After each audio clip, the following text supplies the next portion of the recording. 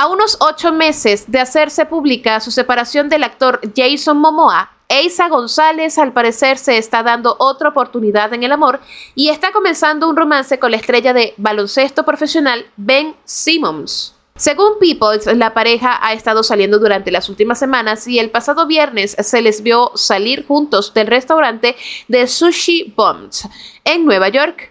En la imagen tomada por los paparazzi se ve la actriz mexicana de 30 años con un maxi vestido negro ceñido al cuerpo con unos botines a juego y un abrigo gris. Mientras que el deportista de 26 años lució un conjunto completamente negro de pantalones anchos y una chaqueta de mezclilla sobre su sudadera con capucha y gorra. Simmons nació el 20 de julio de 1996 en Melbourne, Australia. Su padre, David Simmons, también jugó baloncesto profesional en su país. Tiene cinco hermanos, Liam, Sian, Olivia, Melissa y Emily. Es zurdo, tiene una altura de 6'10 y su apodo es Benny, según su biografía en el portal de la NBA.